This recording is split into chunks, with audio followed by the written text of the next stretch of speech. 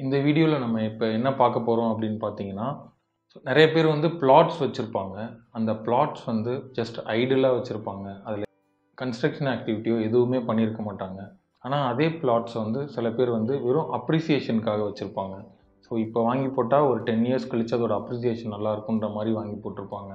இதே வந்து அந்த பிளாட்டில் வந்து நீங்கள் ஒரு கன்ஸ்ட்ரக்ஷன் பில்டிங் நீங்கள் பிளான் பண்ணி பண்ணீங்க அப்படின்னா இதர் கமர்ஷியலாகவோ இல்லை ரெசிடென்ஷியலாகவோ இல்லை ஒரு ரெண்டல் இன்கம்மாவோ நீங்கள் அதை ஜென்ரேட் பண்ணீங்க அப்படின்னா அதோட ரிட்டர்ன்ஸ் வந்து எப்போவுமே உங்களுக்கு நல்லாயிருக்கும் ஸோ மெயினாக வந்து இது எப்படி இப்போ உங்கள்கிட்ட ஒரு பிளாட் இருக்குது அப்படின்னா ஒரு ப்ராப்பர்ட்டி இருக்குது அப்படின்னா அது எப்படி வந்து நம்ம ரெசிடென்ஷியலாக கமர்ஷியலாக அதை நம்ம எப்படி மாற்றுறது அப்படின்றத பற்றி இந்த வீடியோவில் டீட்டெயிலாக சொல்கிறேன் ஃபஸ்ட்டு வந்து ரெசிடென்ஷியல் ப்ராப்பர்ட்டி அப்படின்னு நீங்கள் எடுத்துக்கிட்டீங்க அப்படின்னா ரெசிடென்ஷியல்லே டூ டைப்ஸ் இருக்குது ஒன்று வந்து உங்களோட ஓன் ஹவுஸ் ஓன் யூஸ்க்காக நீங்கள் பண்ணுற ரெசிடென்ஷியல் இன்னொன்று வந்து செகண்டரி வந்து கமர்ஷியலுக்காக நீங்கள் பண்ணுறது ஸோ ஓன் யூஸ்க்காக நீங்கள் பண்ணும்போது ஒரு இண்டிவிஜுவல் ஹவுஸு ஸோ அந்த மாதிரி நம்ம பண்ணுவோம். ஆனால் இதே இது வந்து நம்மளுக்கு கமர்ஷியல் நீங்கள் பண்ண போகிறீங்க அப்படின்னா அதில் வந்து நம்ம ஃபஸ்ட்டு வந்து ஒரு மார்க்கெட் ரிசர்ச் மாதிரி நம்ம பண்ணோம் நியர்பையில் வந்து ஸ்கூல்ஸ் காலேஜஸ் இந்த மாதிரி ஏதாவது இருக்குதா அப்படின்றத நீங்கள் செக் பண்ணோம் ஸோ இல்லை அது வந்து ஒரு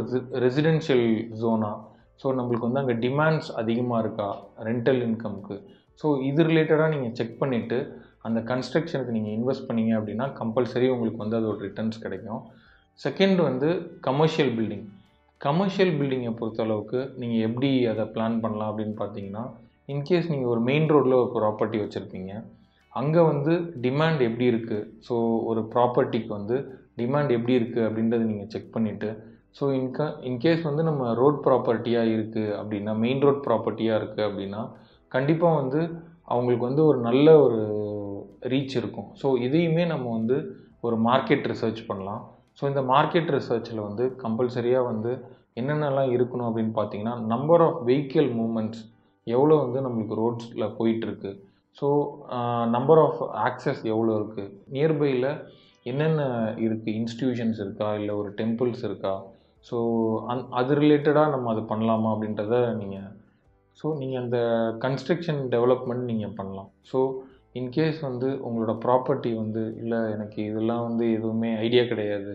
ஸோ நான் ஒரு பில் டு சூட் ப்ராப்பர்ட்டியாக கொடுக்க போகிறேன் அப்படின்னு நீங்கள் எய்ம் பண்ணீங்க அப்படின்னா பில் டு சூட் ப்ராப்பர்ட்டி அப்படின்றது என்னன்னு நான் சொல்கிறேன் பில் டு சூட் ப்ராப்பர்ட்டி அப்படிங்கிறது என்ன அப்படின்னா உங்களோட பர்டிகுலர் ப்ராப்பர்ட்டி வந்து யாருக்காவது நம்ம இந்த மாதிரி நாங்கள் டிசைன் பண்ண போகிறோம் அப்படின்னு சொல்லிட்டு ஒரு டிசைன் நம்ம ப்ரப்போஸ் பண்ணோம் அப்படின்னா கண்டிப்பாக நிறைய கம்பெனிஸ் வந்து அந்த டிசைன் ப்ரப்போசலை பார்த்து ஸோ இந்த இடத்துல இது நாங்கள் பண்ணால் இது நல்லாயிருக்கும் அப்படின்ற மாதிரி அவங்க வருவாங்க அப்ரோச் பண்ணுவாங்க நம்மளை.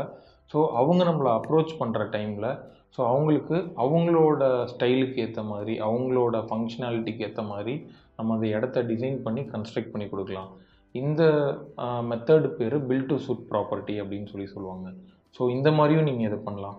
ஸோ மேக்ஸிமம் வந்து உங்களோட ப்ளாட்டை வந்து ஐடலாக வச்சுக்காம ரெண்டல் இன்கம் ஜென்ரேட்டிங் ப்ராப்பர்ட்டியாக மாற்றினீங்க அப்படின்னா இதில் நிறைய பெனிஃபிட்ஸ் இருக்குது மெயினாக வந்து லேண்டும் அப்ரிசியேஷன் இன்க்ரீஸ் ஆகும். ரெண்டலும் அப்ரிசியேஷன் இன்க்ரீஸ் ஆகும். ஈவன் வந்து இல்லைப்பா என்கிட்ட லேண்டு மட்டும்தான் இருக்குது என்னால் எப்படி இன்வெஸ்ட் பண்ண முடியும்? அப்படின்னு நீங்கள் யோசிச்சிங்க அப்படின்னா அந்த லேண்டை பிளச் பண்ணியே கன்ஸ்ட்ரக்ஷனுக்கு வந்து நம்மளுக்கு நிறைய இடத்துல லோன்ஸ் கொடுக்குறாங்க. ஸோ அதுலேயே லீஸ்ட்டாக எந்த பேங்க்ஸ் கொடுக்குறாங்களோ அந்த பேங்க்கை நம்ம டைப் பண்ணிக்கிட்டு கன்ஸ்ட்ரக்ஷன் ப்ராஜெக்ட் பண்ணலாம். ஸோ ரெண்டல் இன்கமில் நிறைய பேர் டெவலப் ஆனவங்க நான் பார்த்துருக்கேன். இன்கேஸ் உங்ககிட்ட ஏதாவது ஒரு ப்ராப்பர்ட்டி இருந்து ஸோ இதை நான் டெவலப் பண்ணோம் இது எப்படி டெவலப் பண்ணுறது அப்படின்றது எனக்கு தெரியல அப்படின்னு நீங்கள் யாராவது யோசிச்சிங்க அப்படின்னா கண்டிப்பாக கீழே இருக்க நம்பருக்கு காண்டாக்ட் பண்ணுங்கள் தேங்க்யூ